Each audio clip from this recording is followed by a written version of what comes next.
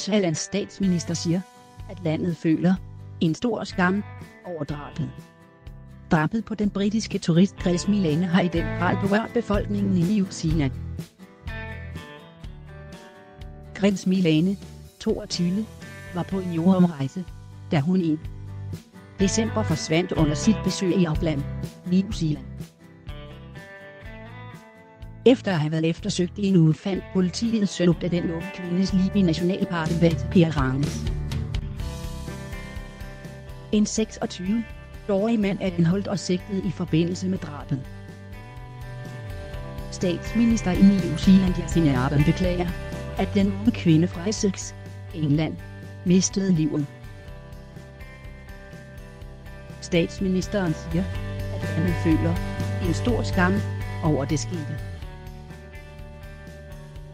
Så på vegne af New Zealand vil jeg sige undskyld til Gratis familie. Deres datter burde have været i sikkerhed her, og det var hun ikke. Det er jeg meget ked af, siger Jacinda Ardern på et pressemøde. Ville ser det verden. Gris begyndte sin rejse i september, da hun blev færdiguddannet fra universitetet. Først tog hun til Sydamerika i selskab med en gruppe. Men på rejsen til New Zealand rejste hun alene. Det var hendes ønske. Hun havde lyst til at se verden, talte storebror Michael til BBC News.